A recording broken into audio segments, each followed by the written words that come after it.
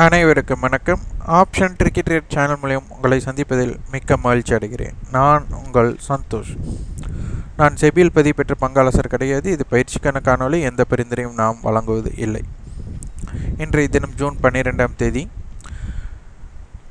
நேரம் ஏழு மணி பதினோரு நிமிடங்கள். நாற்பத்தோரு வினாடிகள் அடிப்படையில் நம்மளுக்கு வந்துட்டு சிங்கிப் மன்னிக்கும் கிஃப்ட் நிஃப்டி வந்து பார்த்திங்கன்னா இருபத்தி மூவாயிரத்தி முந்நூற்றி அஞ்சில் வர்த்தகமாயிட்ருக்காங்க அப்போ நம்மளுக்கு வந்து ஒரு ஒரு இன்பிட்வீன் ஓப்பன் அப்படிங்கிற மாதிரி தான் இப்போதைக்கு தென்படுகிறது.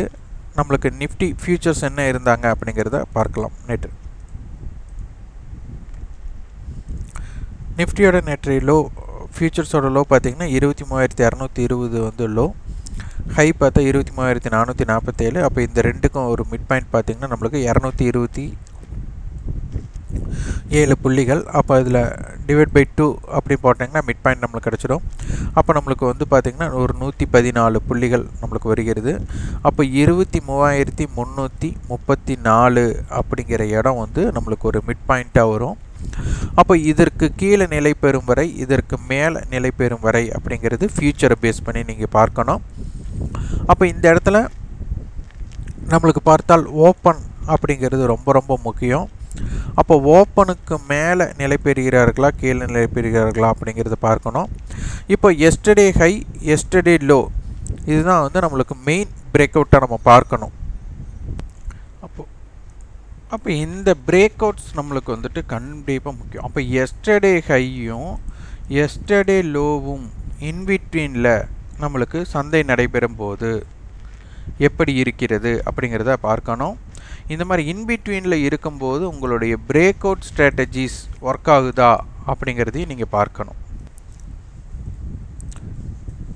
இப்போ இந்த எஸ்டர்டே ஹைக்கு மேலேயோ இல்லை எஸ்டர்டே லோவுக்கு கீழேயோ இம்பேக்ட் ஆகும்போது அதற்குண்டான பிரேக் அவுட் ஸ்ட்ராட்டஜி என்ன இம்பேக்ட் ஆகுது அப்படிங்கிறத நீங்கள் பிரித்து பார்க்கணும். நேற்றைய தினம் பார்த்தீங்கன்னா உங்களுக்கு தெரியும்.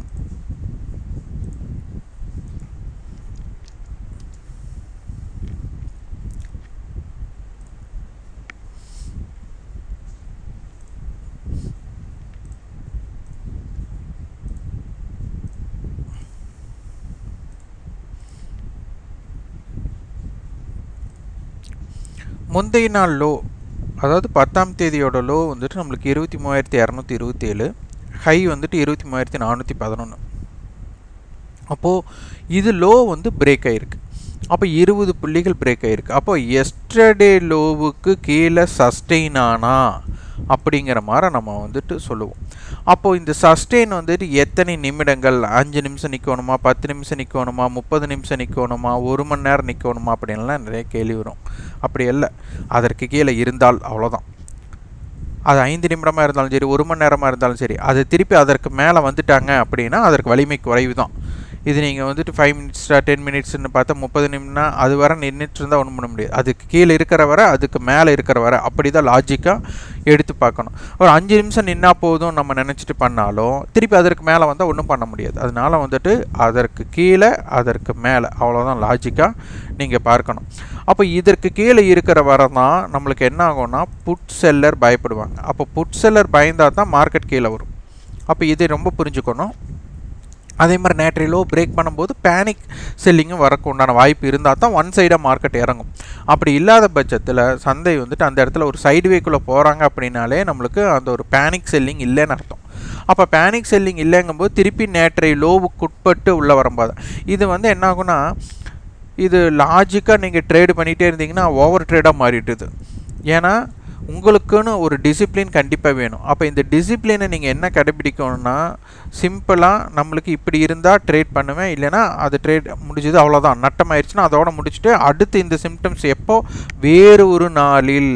இன்றைக்கே கிடையாது. வேறு ஒரு நாளில் அந்த சிம்டம்ஸ் வருது. அப்போ ட்ரேட் பண்ணிங்கன்னா சரியாக இருக்கும். இன்றைக்கி வந்து இப்போ எஸ்டர்டே இந்த லோவை கட் ஆயிடுச்சு அப்போ எஸ்டர்டே லோவை கட் பண்ணதும் என்ன பண்ணியிருப்பீங்கன்னா நீங்கள் வந்துட்டு ஒன்று மார்க்கெட்டில் வந்துட்டு காலை செல் பண்ணியிருப்பீங்க அல்லது வந்து புட்டை வந்துட்டு பை பண்ணியிருக்கலாம். இல்லை ஃப்யூச்சரைவே செல் பண்ணியிருக்கலாம். திருப்பி மேலே வந்துட்டாங்க. மேலே வந்ததுமே என்னாகும்? நீங்கள் உடனே இதோ இதோட லாஸை புக் பண்ணணும். திருப்பி ட்ரேட் எடுக்கணும்னா திருப்பி நீங்கள் வந்துட்டு காலை பை பண்ணலாம். இல்லைன்னா புட்டை செல் அடிக்கலாம். ஏதோ ஒன்று பண்ணுவீங்க. இல்லை மார்க்கெட்டோட ஃபியூச்சர்ஸை லாங் போவீங்க.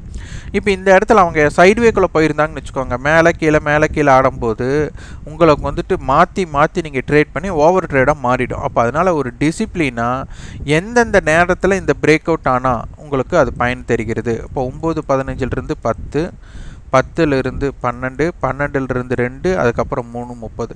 இப்போ இந்த நேரத்தில் எந்தெந்த நேரத்தில் பிரேக் அவுட் ஆனால் வின்னிங் ப்ராபபிலிட்டி அதிகமாக இருக்குதுன்னு பாருங்கள் இப்போ ஒரு வின்னிங் ப்ராபபிலிட்டி அதிகமாக இருக்கிறதுக்கு ஸ்பீடு எங்கே இருக்குது அப்படிங்கிறது பாருங்கள் அப்போ ஸ்பீடோடு போய் ஒரு விஷயத்தை பிரேக் பண்ணுறக்கும் ஸ்லோவாக போய் ஒரு விஷயத்தை பிரேக் பண்ணுறக்கும் வித்தியாசம் இருக்குது அப்போ இந்த பிரேக் அவுட் ஸ்ட்ராட்டஜியில் ஒரு ஸ்லோவாக போய் உங்களுக்கு வந்து அதை பிரேக் ஆகிறக்கும் ஃபாஸ்ட்டாக போய் பிரேக் ஆகிறக்கும் உண்டான வித்தியாசத்தை அந்த நேரத்தை நீங்கள் பிரித்து பார்த்தீங்கன்னா உங்களுக்கு எப்போ ட்ரேடு பண்ணலாம் எப்போ அவாய்ட் பண்ணலாம் அப்படிங்கிறத உங்களுக்கு புரிஞ்சிடும்.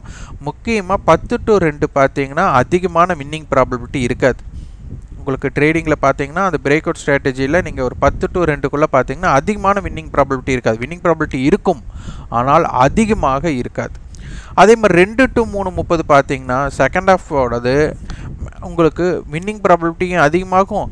அதே மாதிரி ஒன் சைடு மார்க்கெட் விரைவாக இருக்கக்கூடிய வாய்ப்பாக இருக்கும். இதே நீங்கள் பத்து மணிக்கு ஒரு பிரேக் அவுட் ஆச்சுன்னா மூணு முப்பது மட்டும் அதுக்கு டைம் இருக்குது ஆனால் ரெண்டு மணிக்கு பிரேக் அவுட் ஆச்சுன்னா அதுக்கு ஒரு மணி நேரம் முப்பது நிமிடம் தான் இருக்குது அது போக. அப்போ அதோட பிரேக் அவுட்டோட வலிமையை நீங்கள் புரிஞ்சுக்கணும். அது போக நம்மளுக்கு டிகே எப்படி இருக்குது அப்படிங்கிறத பார்க்கணும். இப்போ நேற்றைய தினம் வந்துட்டு நம்மளுக்கு கால் புட் ரெண்டுமே நல்ல டிகே ஆயிருக்காங்க.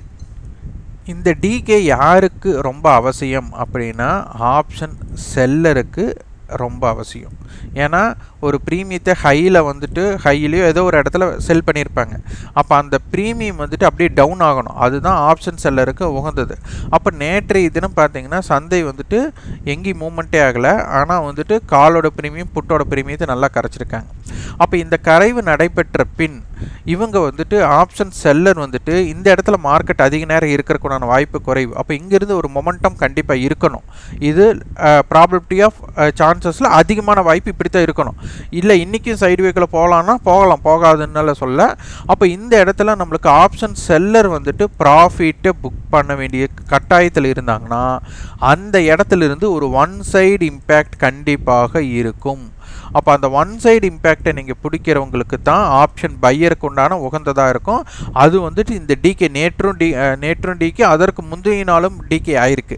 அப்போ இந்த ரெண்டு நாள் டிகே ஆனதுக்கப்புறம் ஒரு மொமெண்டம் கண்டிப்பாக கண்டிப்பாக இருக்கிறதுக்குண்டான வாய்ப்புகள் மிக அதிகமாக இருக்குது அந்த மொமெண்டம் ஆப்ஷன் செல்லர் காலில் புக் பண்ணுறாங்களா இல்லை பு புட்டில் புக் பண்ணுறாங்களா அப்படிங்கிறத கொஞ்சம் உற்று நோக்கி அதற்கு open strategy yesterday high yesterday low ஸ்ட்ராட்டஜியை impact பண்ணி நீங்கள் பாருங்கள் அது ரொம்ப ரொம்ப உகந்ததாக இருக்கும்.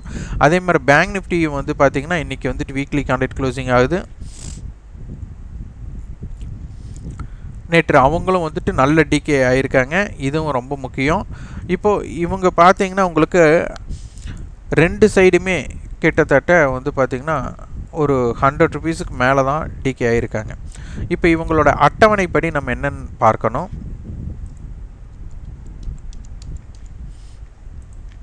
அதே மாதிரி ஹிஸ்டாரிக்கல் டேட்டாலையும் நீங்கள் வந்துட்டு பேங்க் நிஃப்டியும் செட் பண்ணி பார்த்துக்கோங்க.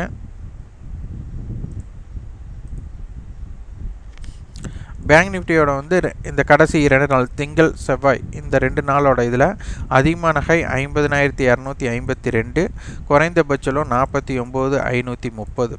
அப்போ இந்த ஜோனோடது வந்து பார்த்திங்கன்னா நம்மளுக்கு ஒரு எழுநூறு புள்ளிகள் வருது. எழுநூறு புள்ளிகளோட ஆவரேஜ் முந்நூற்றம்பது புள்ளிகள். அப்போ இந்த முந்நூற்றம்பது லோயஸ்ட்லேருந்து கூட்டினோம்னா நம்மளுக்கு நாற்பத்தி ஒம்பதனாயிரத்தி எட்நூற்றி எண்பது அப்படிங்கிற ரேஞ்ச் நம்மளுக்கு கிடைக்கும். அப்போ இந்த எட்நூற்றி எண்பதுக்கு மேலே இருந்தால் கீழே இருந்தால் ஒரு இம்பேக்டட் அடுத்தது ஓ ஓப்பனுக்கு மேலே கீழே ப்ரீவியஸ் க்ளோஸுக்கு மேலே கீழே எஸ்டர்டே லோவுக்கு கீழே எஸ்டர்டே ஹைக்கு மேலேன்ட்டு ஒரு ஸ்ட்ராட்டஜி இம்பாக்ட் பண்ணி நம்மளுக்கு வந்துட்டு ஒரு இம்பேக்ட் பண்ணுங்கள் அது ரொம்ப ரொம்ப முக்கியம். இப்போ ஆப்ஷனோடைய அட்டவணையில் ஆக்டிவ் கான்டெக்ட்ஸில் என்ன கொடுத்துருக்காங்க பார்க்கணும். ஐம்பதினாயிரம் கால் நாற்பத்தொம்பது எட்நூறு கால் நாற்பத்தொம்பது எட்நூறு போட்டு கொடுத்துருக்காங்க. அப்போ நாற்பத்தொம்பது எட்நூறு நடுநிலையாக இருக்க போகிறாங்க நாற்பத்தொம்பது எட்நூறு கால் புட்டை பேஸ் பண்ணி நீங்கள் அதற்கு அடுத்து தான் நீங்கள் இம்பேக்ட் பண்ணுறதுக்கு போகணும். அடுத்தது நம்மளுக்கு வந்துட்டு ஆப்ஷன் செயினில் பார்த்தீங்கன்னா உங்களுக்கு தெரியும் இம்ப்ளைடு வாலிட்டி நம்மளுக்கு இன்னும் இருக்கிறது. புட் சைடு வந்து அதிகமாக இருக்குது கால் சைடு கம்மியாக இருக்குது இது ரொம்ப ரொம்ப முக்கியம். இந்த இம்ப்ளைடு வாலிட்டி அதிகமாக இருக்கிற வரை என்னென்னா ஒரு நியூஸ் பேஸ்டு மார்க்கெட்டுன்னு எடுத்துக்கலாம். ஓடிஎம் ஆப்ஷன் ஆக்டிவில் இருக்கிறாங்கன்னு அர்த்தம். அப்போ எப்போ வேணாலும் வந்துட்டு ஒரு பெரிய ரேஞ்ச் எக்ஸ்பென்ஷன் ட்ரேடு நடக்கிறக்குண்டான வாய்ப்புகள் இருக்கலாம். ஆனால் அப்படி இல்லாமல் ரேஞ்ச் எக்ஸ்பென்ஷன் கிடைக்கலைன்னா அது சைடுவேக்குள்ளே போயிடுச்சுன்னா ப்ரீமியம் டிக்கே மிக அதிகமாக இருக்கும். அதனால் ரெண்டு விஷயத்தில் நீங்கள் நல்லா உன்னிப்பாக கவனிச்சிங்கன்னா இதனை பற்றி புரிதல்கள் உங்களுக்கு ஏற்படும். இந்த காணொலி உங்களுக்கு பயனுள்ளதாக இருந்தால் லைக் பண்ணுங்கள் ஷேர் பண்ணுங்கள் சப்ஸ்கிரைப் பண்ணுங்கள் கண்டிப்பாக உங்கள் ஃபீட்பேக் கமெண்ட் பாக்ஸில் பதிவு பண்ணுங்கள் நன்றி வணக்கம்.